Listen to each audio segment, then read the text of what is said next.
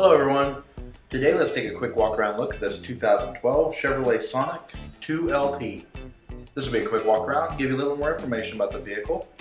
It is painted in Inferno Orange Metallic, has a dark pewter with a dark titanium cloth interior. This vehicle is powered by a 1.8 liter four cylinder engine with a six speed automatic transmission. This vehicle is loosely based off of the Australian Holden Barina has a lot of iconic styling and a lot of space for such a small car. Let's take a look at the interior, shall we? So inside we have power windows, power mirrors, and power door locks, manual adjustable seats, automatic headlamps. This vehicle also has cruise control. We're going to sweep across the interior to kind of show you a little bit more.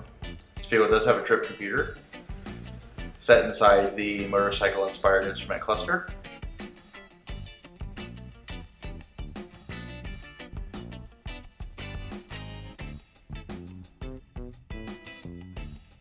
Also got an AM FM CD player with Bluetooth, an MP3 uh, decoder.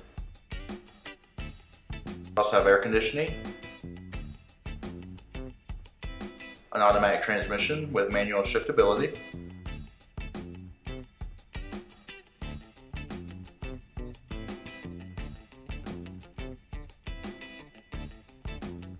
There's also a lot of nice little storage pockets in the dash, including two separate glove boxes.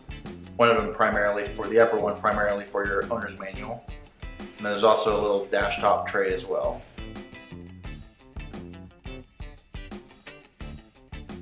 Alright, the back seat is quite roomy, surprisingly, for such a small car. It does have a single cup holder,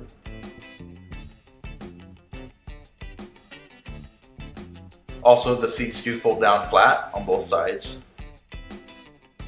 to give you a lot more cargo room.